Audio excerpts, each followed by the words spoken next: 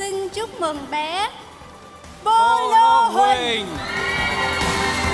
Xin chúc mừng bé Bolo Huỳnh, con trai của ca sĩ Đàm Vĩnh Hưng đã trở thành Hot Kid của năm 2022. Một cậu bé vô cùng đáng yêu để giành được lượng bình chọn cao nhất. Và kết quả là 104.640 số phiếu và tổng số điểm của bé là 8,72 điểm.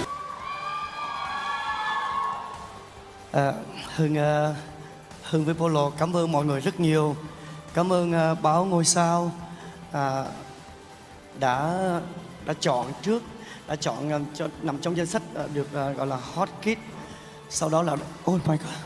Sau đó là là cảm ơn tất cả các lượt bình chọn của các fan, những người yêu thương Hưng, yêu thương Polo rồi uh, cả sự bình chọn của hội đồng uh, giám khảo nữa. Cảm ơn rất rất nhiều. À, khi mà Hưng ờ, công bố Polo Hưng cũng không bao giờ nghĩ à, sẽ có cái ngày hay khoảnh khắc mình đứng lên đây.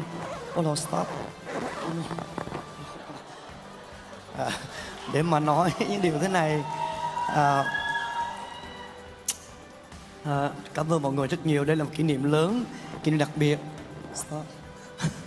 À, cách đây nhiều năm nhiều năm lắm năm nào Hưng cũng uh, hy vọng mình có tên trong cái danh sách được đề cử được chọn của báo ngôi sao uh, chưa bao giờ uh, được. Cuối cùng tới đợi con Hưng thì lãnh được giải này.